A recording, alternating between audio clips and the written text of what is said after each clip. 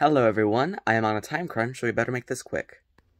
On June 24th, a planetary parade is going to dazzle the morning sky.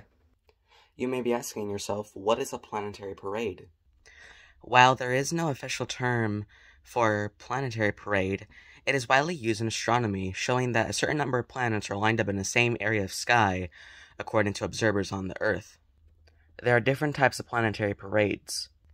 According to Starwalk, a mini planet parade only consists of three planets. Small planet parade only consists of four planets. A large planet parade consists of five or six planets, and a great full planet parade is when all of the planets of the solar system are in a parade, even Pluto sometimes. This year, it is going to be a large planet parade, as there are going to be five planets in this parade. The planets that are in it to win it are Mercury, Venus, Mars, Jupiter, and Saturn. This parade might also be a great full parade just because of how Uranus and Neptune are in it, but they aren't really able to be seen. So that's the planet parade coming on on June 24th.